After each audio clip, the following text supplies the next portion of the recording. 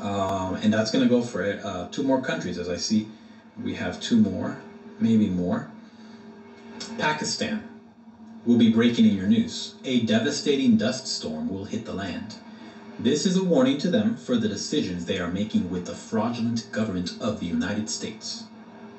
For what they are trying to do against you, Pakistan, and the rest of the world. Truth shall be revealed, and their plans will be stopped by me, saith the Lord of hosts. Anyone from Pakistan, let us know in the comments. Kuwait.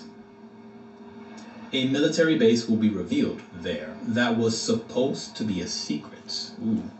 Oh, United States, those dirty deals your military officials were making in foreign lands against you. Those generals and high ranking officers will be exposed, and the bioweapons that were hidden there will be discovered and destroyed.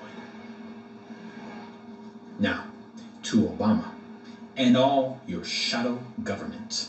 I am is coming to destroy all that you have done against this land, using other lands to hide your plans. nothing, and I mean nothing, you have done or, or are trying to continue will stand when I move my hand. And it is coming against you, Obama. I have planted people in your government you thought were with you. Ha!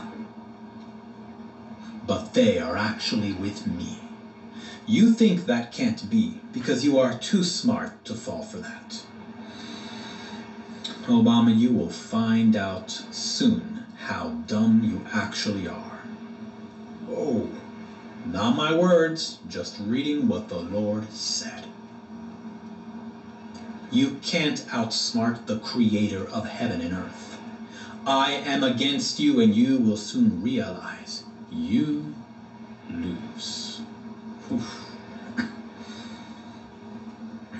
You know, even I, even I know some fellow believers who still hail Obama as some great man.